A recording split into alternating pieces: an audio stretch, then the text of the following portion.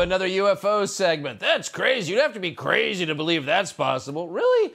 Is it any crazier than what's coming out of, say, your average White House briefing? No, it, it really isn't. So, with that in mind, a fascinating conference today about UFOs and nuclear weapons. It took place in Washington. At it, a U.S. Air Force captain called David Schindele said he was part of an incident in which a UFO disabled 10 nuclear ICBM missiles. Here's part of what he said.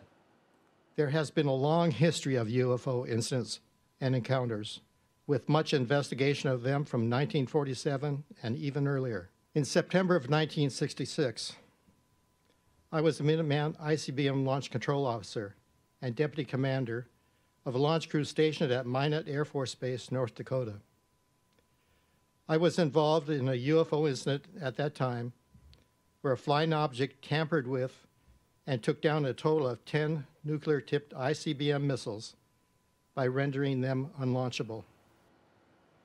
Tom Rogan is one of the rare serious journalists, actual journalists, in Washington who's been on this story for years in a very rigorous way. He's a columnist now with the Washington Examiner. He was following the conference today. He joins us tonight for a recap. Tom, thanks a lot for coming on. So, what did you learn today at this event?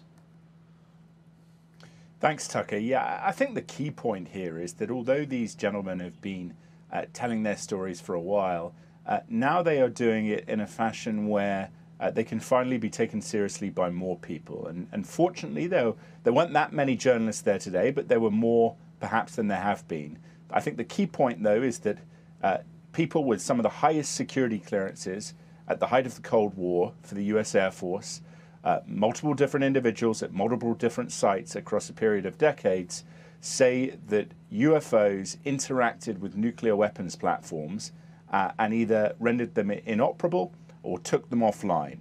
Uh, and so something was done by a, a technological force, as these uh, officers would suggest, uh, that cannot be explained. And, and that, in and of itself, sh- surely should be um, big news worthy of serious uh, further investigation.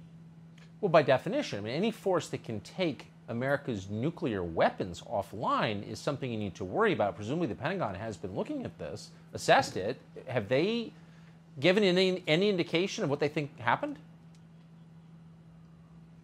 What's I think unfortunate, and I guess we're at the start of a process. You know, the the director of national intelligence had this report, but what's unfortunate is that the government does know that there is a nuclear connection. They've kept that classified. Uh, frankly, I can understand why some of it is classified, but they should come clean with a lot more uh, that they know. I mean, the simple fact, right? The U.S. Navy. Why does the Navy keep seeing these things with the aircraft carriers?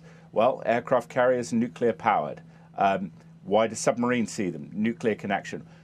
This nuclear uh, missile incidents from the Cold War.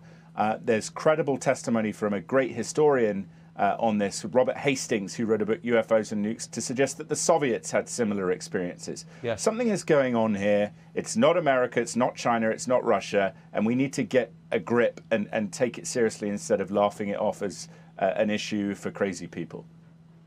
Right. I mean, there are a lot of crazy people in this world right now. I, I would say the people who take this seriously may be among the least crazy in our public conversation. And you're certainly in that category. Right. Tom Rogan, appreciate your coming on tonight and covering this. Thank you. Thanks, Tucker.